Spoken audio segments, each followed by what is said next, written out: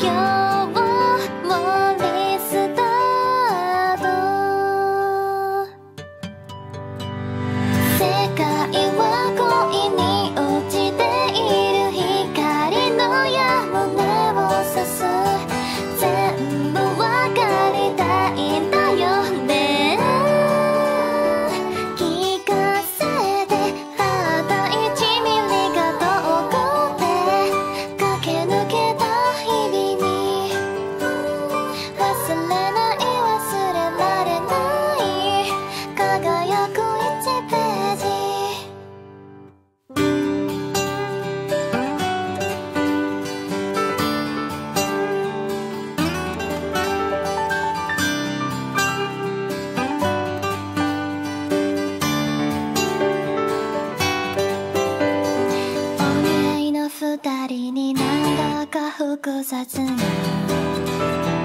気持ちがいるよ初めての感情を鼓動にリンクする大音け壊れちゃったかな？自分のことわからないままあの子にアドバイス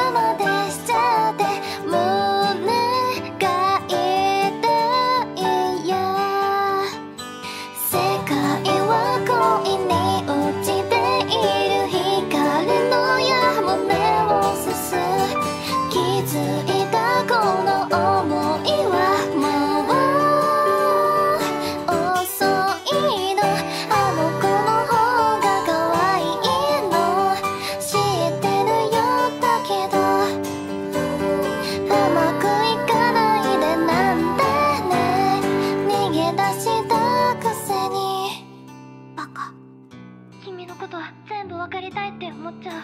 これが恋だって初めて気づいたの。絶対振り向いてほしい。遅かったけど諦めたくない。だって好きだから。